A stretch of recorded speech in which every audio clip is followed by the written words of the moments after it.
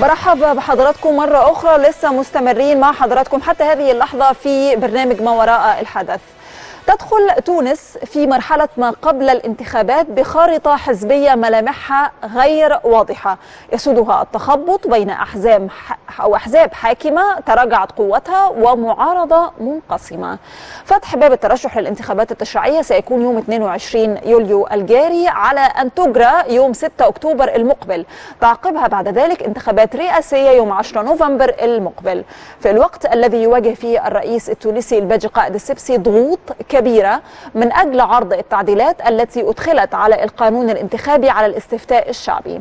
وجاءت هذه الضغوط خصوصا من الأحزاب المهددة بالمنع من تقديم قوائم للانتخابات البرلمانية أو ترشيح قيادتها للانتخابات الرئاسية بسبب هذه التعديلات.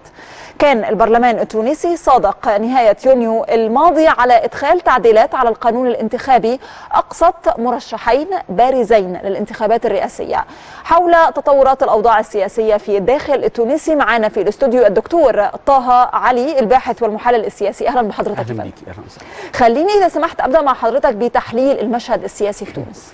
يعني خلينا بداية نقول إن المشهد السياسي آه، في تونس آه، يختلف آه، عما كانت عليه الأوضاع من عام 2014 آه، مشهد يمكن النظر إليه من خلال مجموعة من الجوانب. بداية الوضع الاقتصادي التونسي المتردي والمتدهور والذي خلق حالة من الاستياء في الداخل التونسي الأمر الذي انعكس على ال- ال- العلاقة أو الرغبة الجماهيرية آه، أو ال- مثلا فكرة التأييد ل- أو الإقبال الجماهيري على آه، فعاليات النخبة السياسية بشكل عام. آه، عارفين طبعا العملة التونسية بتفقد قيمة 40% من قيمتها منذ 2014 حتى اليوم الأمر الذي آه، أدى إلى تدهور آه، آه، الظروف المعيشية وصل يعني دخل دائرة الفقر في تونس ما يتجاوز 1.6 مليون مواطن تونسي. كل ذلك بيجعلنا بصدد حالة من الاحتقان الاقتصادي عفوا السياسي الاقتصادي والاجتماعي ما ينعكس على المشهد ال- السياسي بشكل عام. أما فيما يخص النخبة التونسية أنا عندي كما أسلفت حضرتك من، آه، الحاكم آه، بتتراجع شعبيته بي- بي- بيشهد الكثير من الانقسامات. عندي آه، من آه، مثلا أحزاب بتنسلخ من تكتلاتها وتتشكل أحزاب جدي- جديدة مثل حزب تحيا تونس الذي يترأسه رئيس الوزراء يوسف الشاهد الذي أيضا لديه مجموعة عدد من الملاحظات والتحفظات من خلال عدد من القوى السياسية التي بدورها ترى أن حكومة يوسف الشاهد تعمل على إعادة هندسة المشهد الانتخابي لإقصاء بعض الرموز تحقيق بعض ال- المكاسب إعادة تهيئة الوضع في الداخل التونس بشكل التونسي بشكل عام. أيضا آه، آه، مثلا آه، حتى ال- ال- ال- حركة النهضة حركة جماعة الإخوان آه، آه، التي يعني إذا قارنا أدائها في عام 2014 مقارنة بعام 2011 حيث إزدهار الحركة نجد أنها عام 2011 كانت قد حصلت على 89 مقعد. 2014 كانت قد حصلت تراجع آه، كتلتها البرلمانية وصلت إلى أظن آه، 69 مقعد. آه، في ظل الانقسام والخلاف الذي تشهده حركة النهضة خلال الفترة الأخيرة. أنا عندي انتخابات داخلية أجريت عام في شهر مايو نعم، الماضي. صحيح. آه، أسفرت عن حالة من التذمر والسخط بين صفوف حركة النهضة بسبب أن آه، هناك مجموعة من النقاط الإشكالية أهمها هل يعني هنزج أو هندفع بمرشح آه، آه، عن الحركة في الانتخابات التونسية الرئاسية في شهر أكتوبر أم لا. هذه النقطة خلافية. أيضا مكانة راشد الغنوشي نفسه وسيطرته على حركة النهضة واختطافه للحركة وإقصائه للكثير من ال- المرشحين في العملية الانتخابية البرلمانية في الفترة دي. آه، أيضا أنا عايز أقول أنه كافة الكتل بالمناسبة أيضا التيار آه، حركة الجبهة الشع... آه، حزب الجبهة نعم. الشعبية الأكبر تكتل يساري في تونس حدث شهد مجموعة من الانقسامات في الفترة طبعا الأخيرة دكتور طه يعني إحنا هنتكلم عن كل الأحزاب المتقدمة في الانتخابات بشكل تفصيلي ولكن إحنا قدامنا دلوقتي انتخابات تشريعية أو برلمانية في تونس وأيضا انتخابات رئاسية. أيهما أشد سخونة من وجهة نظرك؟ الأشد سخونة بلا شك هي الانتخابات التشريعية نظرا لأنها تسفر عن آه، آه، آه، برلمان سلطة تشريعية تمتلك بموجب الدستور 2014 صلاحيات تتجاوز صلاحيات رئيس الجمهورية. حتى أن الرئيس الباجي قايد السبسي نفسه عبر عن استيائه من اختناق أو ضيق صلاحيات رئيس الجمهورية بموجب هذا الدستور حيث قال أنها بها آه، هنات وبها آه، إشكاليات تقيد الرئيس بشكل سيء جدا آه، يعني يقتصر دوره على تعيين بعض كبار المسؤولين في الدولة مساهمة محدودة في رسم السياسات العامة للدولة. وبالتالي نظرا لأهمية وخطورة الانتخابات التشريعية ذلك أنها يعني يتمخض عنها ال- المتحكم الفعلي في صناعة القرار في الداخل التونسي نجد أنها أكثر أهمية نعم. وأكثر خطورة مقارنة بالانتخابات الرئاسية. طيب دكتور طه خليني أتكلم مع حضرتك عن الأحزاب بشكل أكثر تفصيلا. وإذا سمحت أبدأ مع حضرتك بحزب نداء تونس الذي كان مسيطر في عام 2014 على الانتخابات البرلمانية. ماذا نتوقع لهذا الحزب في الانتخابات القادمة؟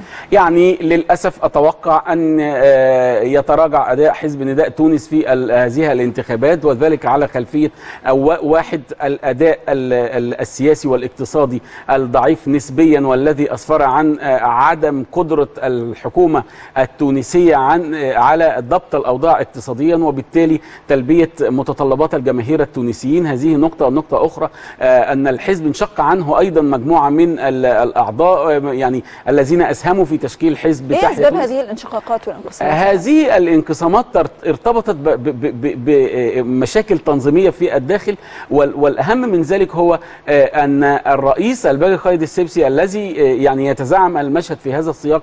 برضو آه، آه، الناحية السنية بالنسبة له الرجل يعني تجاوز عامه الثاني والتسعين وبالتالي قدرته على ال ال آه، يعني ضبط وإحكام قبضته على الأوضاع. لا شك مش مش هتكون مثل يعني العامل العمري أو السني أكيد ليه دور في هذا السياق. أيضا الأزمة الاقتصادية الخانقة. يعني أنا أؤكد دوما على دور الأزمة الاقتصادية وانعكاسها على الأوضاع السياسية وخاصة حينما يكون الائتلاف الحاكم مشكل من مجموعة من ال ال ال الأحزاب غير المتجانسة فكريا. فأنا عندي حزب نداء تونس ذات التوجهات أميل إلى العلمانية وبينما تشارك ح- حركة النهضة في عملية صناعة القرار من خلال ال 69 مقعد في البرلمان التونسي. أي وهي حركة إخوانية وحركة آه، أيديولوجية لها مصالح وارتباطات خارجية. اذا أنا عايز أقول إن الأداء العام على ل- آه، يعني آه، للحكومة التونسية في ظل يعني سيطرة حزب نداء تونس انعكس على اوضاع أوضاعها السياسية في المقام الأول. نعم أو لا دكتور طه حزب نداء تونس سيسيطر على الانتخابات البرلمانية القادمة. لا. نعم.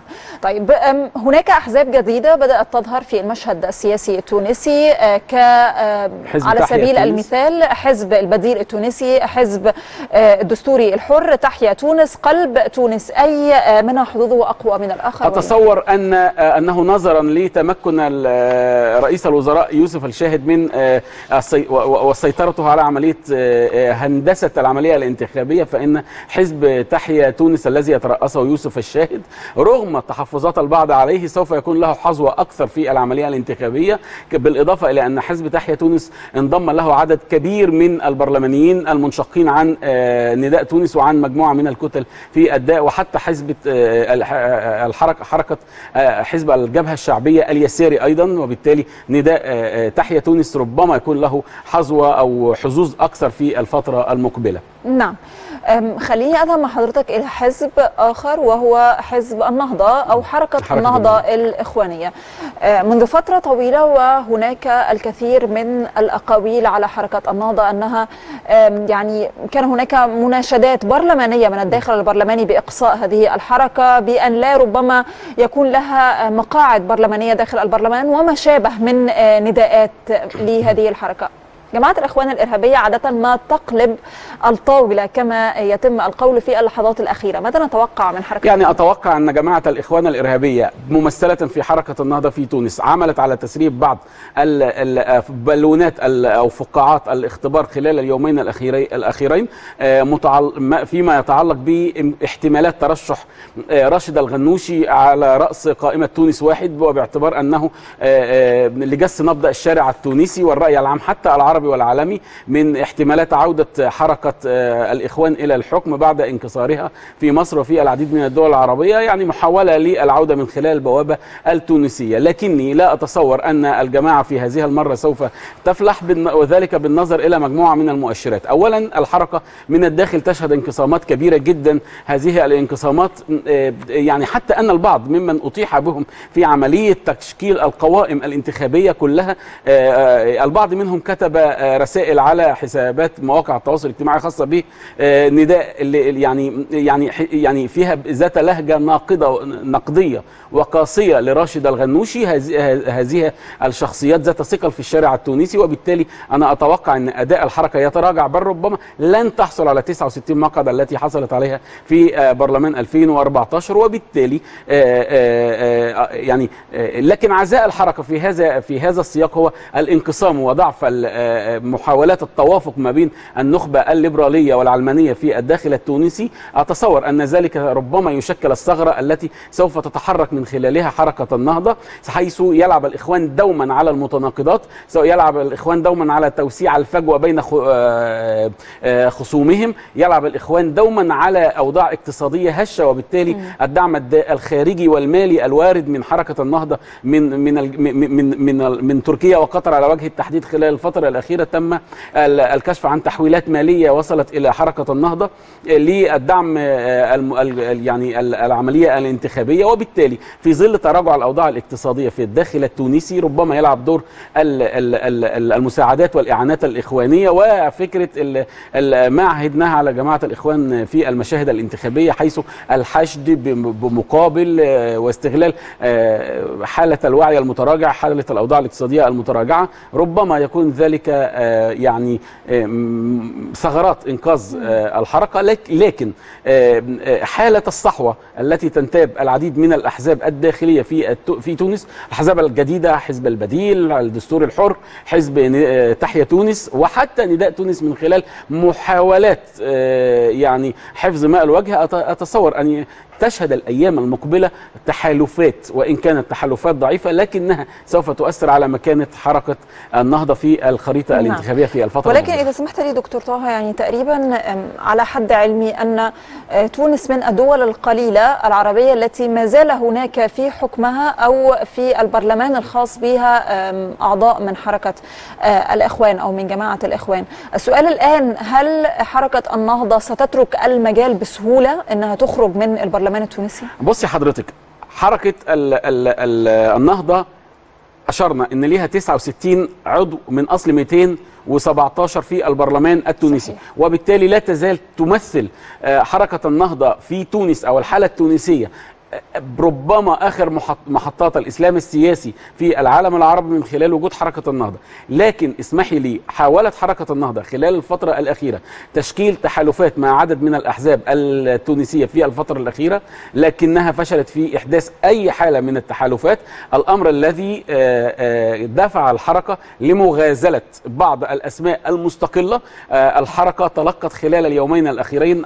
قائمة بأكثر من 80 مرشح مستقل يسعون للدخول إلى البرلمان من خلال ما أصل دي ظاهرة موجودة في كل زمان ومكان. أن تجد من يغازل من يدخل في كومبرومايز أو علاقة توافقية مع حركة النهضة النهضة تضمن من خلاله من خلال هؤلاء المستقلين الانتهازيين والنفعيين. آه، آه، رفع الكوتا الخاصة بها في البرلمان بينما هؤلاء الأصوات الذين ربما يكونوا فشلوا في تحقيق مكاسب من خلال جهودهم الذاتية فلجأوا إلى حركة النهضة في الداخل. وبالتالي تلجأ حركة النهضة في تونس إلى مغ مغازلة المستقلين آه، الأمر الذي يكشف الحالة ال- التي وصلت إليها الحركة في من انعزالية وسط النخبة السياسية.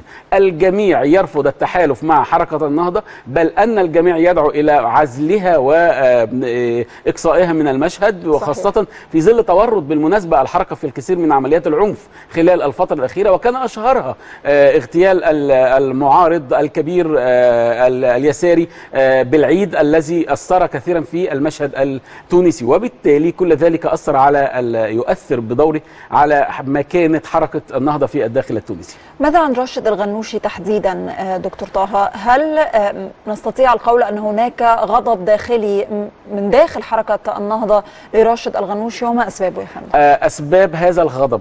الغضب موجود بالفعل تم التعبير عنه من خلال الكثير من الأصوات التي أطيح بها في عملية إعادة هندسة الانتخ... إعادة تشكيل القوائم الانتخابية التابعة أو قوائم المرشحين التابعة لحر... لحركة النهضة. في ع... في شهر مايو الماضي تم إجراء انتخابات داخلية. هذه الانتخ... كان لراشد الغنوشي الكلمة الأعلى في هذه الانتخابات بل أنه تدخل في توجيه مسار العملية الانتخابية في المكاتب الداخلية لحركة النهضة.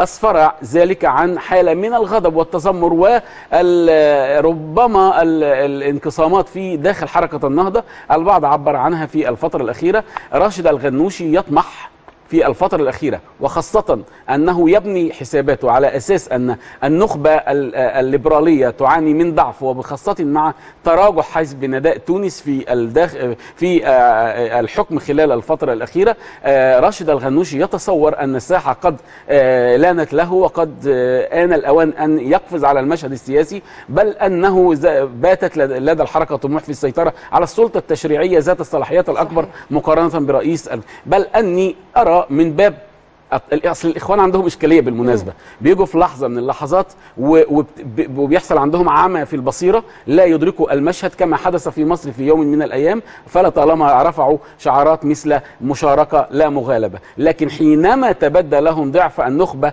المدنية في الشارع المصري يوما ما أخذتهم شهوة السلطة فأعلنوا الترشح على كافة آه، السلطات التشريعية والتنفيذية واجتياحهم للمشهد. أتصور أن جماعة الإخوان آه، في تونس لا تختلف كثيرا رغم ما يبدو على الغنوشي من حكمة مقارنة بإخوان مصر. فذات يوم الغنوشي نصح إخوان مصر كثيرا لكنهم لم يستمعوا له. أتصور أن الغنوشي اليوم في مكان في موقع إخوان مصر وأنه شهوة السلطة وأنه آه، آه، وهم أنه بات آه، من الاقتراب من المشهد. وخاصة إذا ما علمنا أن المحطة التونسية ربما تكون آخر محطات الإسلام السياسي صحيح. بعد انحدارها بعد انكسارها في مصر وانكسارها في السودان وتهاوي آه، شأفتها في في في تركيا أيضا. آه، الإسلام السياسي يتهاوى في ليبيا وخلاص آه، على وشك الانصراف. أيضا المحطة التونسية ربما تمثل إحدى آخر المحطات بالنسبة لهم.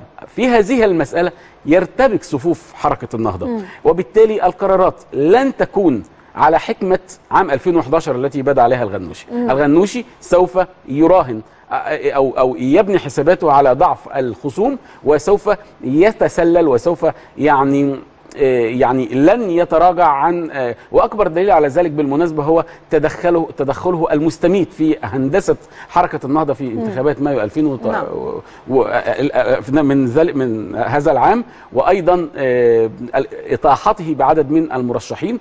الأمر الذي عبر عنه حالة من غضب كثير من شيوخ وشباب حركة النهضة في تونس. نعم.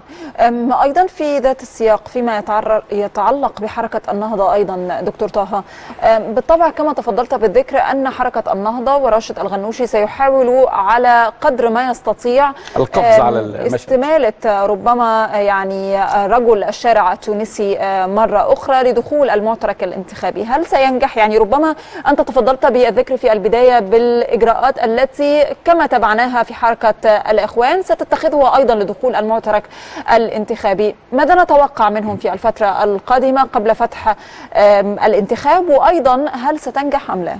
يعني من المفترض الليلة أو غدا آه، تعلن قوائم حركة النهضة النهائية. آه، وسوف نعلم أو سوف نلاحظ نشاهد ما إذا كان الغنوشي بشخصه وبذاته. سوف يترشح على قائمة تونس واحد. وهذا غير مستبعد وهذا أقرب الاحتمالات بالمناسبة. وفي تلك الحالة آه، سوف يعني الأمر محاولات حركة النهضة المستميتة بأنها لن تقدم على ترشيح رجل بحجم راشد الغنوشي وتتراجع عن عمليات الحشد. سوف يكون سوف تكون محاولات الحشد والتعبئة لحركة النهضة في الشارع أضعاف مضاعفة مقارنة بما سبق. وخاصة إذا ع- لقينا لقينا المنحنى الخاص بأداء الحركة. م- 2011 كان 89 2014 كان 69 وبالتالي إذا هي آه، منحنى متهابط يعني ن- منحدر. وبالتالي ال- ال- حركة النهضة تحاول آه، يعني ال- الحفاظ على ما يمكن الحفاظ عليه آه، وخاصة يعني في ظل الدعم المالي الوافد إليها من الخارج سوف تبذل حركة النهضة كل الغالي والثمين من نعم. أجل حفظ ماء الوجه وخاصة يعني واللعب أيضا على المتناقضات وخاصة إذا ما علمنا أن الكثير من المستقلين يغازلون حركة النهضة التي بدورها ترد عليهم بمغازله مقابلة. نعم. آه، من وجهة نظرك آه، من أبرز المستفيدين دكتور طه من تراجع أحزاب المعارضة خاصة يمكن بعد انقسام حزب الجبهة الشعبية اللي كان بيضم تكتل آه، يساري. كبير؟ أتصور أن أبرز المستفيدين في هذه المرحلة هو حزب تحيا تونس الذي آه، يحافظ حتى اللحظة على تماسك نسبي آه، أعلن حزب تحيا تونس خلال الفترة الأخيرة نيته على احتمالات خوض تحالفات مع الأحزاب الوسيطة والص... يعني مثل الدستور الحر ومثل البديل. أيضا من المحتمل أن يكون هناك محاولات لاستقطاب ال- ال- المنشقين من الجبهة الشعبية في الأحزاب اليسارية. أيضا آه، المستفيد ربما يكون حزب النداء آه، حزب تحيا تونس. آه، وخاصة أيضا أنه يغازل الم... آه، يعني يسعى لجذب المزيد من المنشقين. لكن أنا أتصور إنه آه، يعني التيار الليبرالي وربما المدني بشكل نعم. عام في في الداخل التونسي بوابة إنقاذ تونس بوابة إنقاذ هذا التيار تكمن في التحالفات. وليس التفتيت. فيما يتعلق بالتحالفات تحديدا دكتور طه ما هي أبرز عمليات التحالفات بين الأحزاب في هذه الفترة؟ آه، حتى اللحظة لم يعلن عن تحالفات جادة. نعم. الجميع يتحدث عن احتمالات للتحالفات لكن التحالفات أيضا بها إشكالية. يعني مثلا لما نتكلم عن تحالف مدني ليبرالي مع أحزاب يسارية الخلفية ال- ال- عفوا ال- المرجعية الفكرية لهذه التحالفات تجعلها تحالفات هشة في مجمل الأحوال. وبالتالي حتى هذه يعني وبالمناسبة ده حتى ان انعكس على أداء آه، حكومة يوسف الشاهد التي تقوم أصلا على تحالفات. يعني هي تق- تقوم حكومة تحالفات في المقام الأول لكنها آه، شهدت انقسامات. نعم. وبالتالي أنا عايز أقول إنه عملية التحالفات واردة بشدة خلال الأيام ال- المقبلة آه، لكني أؤكد أن هذه التحالفات ربما تكون المخرج ل آه، يعني ربما تكتل مدني في مواجهة مخططات حركة النهضة وأيضا في مواجهة ضعف ضعف أداء حزب نداء تونس. هذا فيما يتعلق بالأحزاب آه، دكتور طه. ماذا عن قانون الانتخاب؟ هل سيستجيب الباجي قائد السبسي لضغوط الذين يطالبون بتعديل قانون الانتخاب وإدخاله لاستفتاء شعبي؟ ليس مستبعد ذلك وخاصة إذا علمنا أن حركة النهضة هي إحدى ال يعني ال يعني أحد المتربصين باستغلال هذا القانون وبالتالي آه، فإن ذلك يمثل خطر على المشهد السياسي في الفترة المقبلة لكن آه، لا أستبعد تراجع هذا القانون آه، في مسألة مساعي إقصاء بعض نعم. الشخصيات المهمة وللأسف يعني أنا أنا يعني مستغرب هذا الأمر لأنه هذه الشخصيات المستبعدة بالمناسبة لها حضور في الشارع. هذا الحضور يمكن آه، الاستفادة منه في مواجهة مساعي حركة النهضة في الفترة الأخيرة. ماذا إن رفض آه، الباجي قائد السبسي آه، يعني إجراء استفتاء شعبي على التعديلات؟ يعني أتصور إنه آه، يشهد الشارع ال- ال- أو تشهد الساحة السياسية في تونس مزيد من الاحتقان في الفترة المقبلة. وخاصة أيضا في سؤال ماذا أيضا أتصور ان ربما ماذا لو مثلا لو توفى الرئيس الباشا قايد السبسي؟ على سبيل المثال الأعمار بيد الله. لكن عندي إشكالية أيضا بالمناسبة آه، ال- البرلمان فشل حتى اللحظة في آه، اختيار والاستقرار على أسماء للمحكمة الدستورية التي من المفترض أن تكون هي ال ال ال ال من يقوم بمهام رئيس الجمهورية في حالة شغور المنصب نعم. أو خلوه. الرئيس باجا قايد السبسي, آه، تجاوز ال 92 سنة. طبعا الاعمار بيد الله لكن حالته الصحية غير مستقلة مستقرة. هنا الأمر يفرض على رئيس الجمهورية والبرلمان التوافق حول أسماء والتي آه، أتصور إنه صعب في هذه المرحلة على وجه التحديد لأن حركة النهضة آه، تحاول فرض أسماء بعينها لكن في المقابل حزب تحيا تونس وحزب نداء التونسي يعني لهم تحفظات على مثل صحيح. ذلك طبعا أنا بشكرك شكرا. جزيلا كنت ضيفي في هذه الفقرة الحوارية من وراء الحدث الدكتور. طه علي الباحث والمحلل السياسي